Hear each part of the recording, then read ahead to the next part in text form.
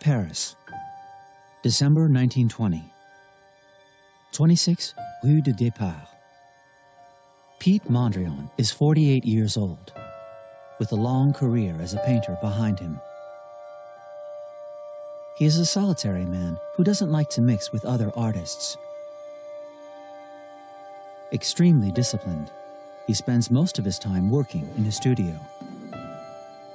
They call him Piet the Invisible.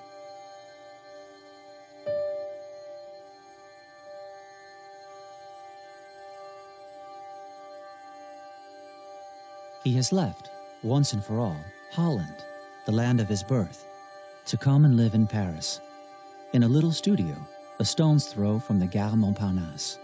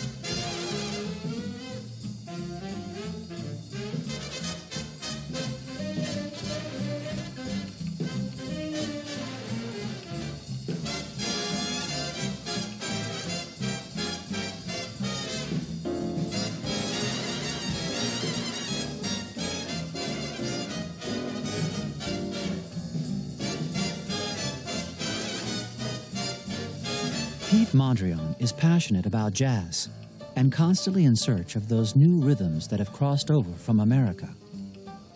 With his dapper suit, his round glasses, and his air of neatness, he is not the average bohemian artist.